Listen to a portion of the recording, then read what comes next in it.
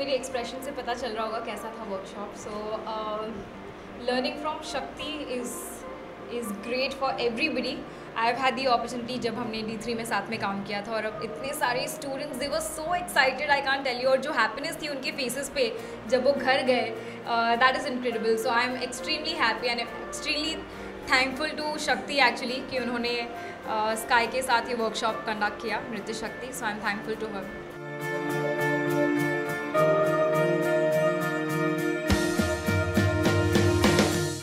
exactly इतने time के बाद uh, हम एक्चुअली मिल के कुछ कर रहे थे after D three so I was feeling totally nostalgic वाली फीलिंग आ रही थी सारी यादें वापस आ रही थी।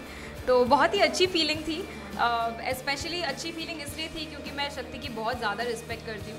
उसकी डांस की बहुत ज़्यादा रिस्पेक्ट करती हूँ। तो जब वो मेरे सामने होती है डांस कर रही होती है तो I just I am stern like that and वो सारी डी थ्री की भी यादें ताज़ा हो गई। So it was a great feeling to be with her together वो एक्चुअली मेरे लिए भी एक क्वेश्चन है कि हम, आज हमने थोड़ा बहुत किया ऐसे ही डांस तो बहुत मज़ा आया। But I hope someday very soon we'll be dancing together as well क्योंकि वो जो टाइम होता है ना हमारा साथ में रिहर्सल का, वो कुछ और ही होता है। You know that is beyond friendship that something more और कुछ गहराई होती है उसमें। क्योंकि हम एक दूसरे का आर्ट और शेयर कर रहे होते हैं। तो I hope we get an opportunity soon जहाँ हमें साथ में परफॉर्म करने का मौका मिले।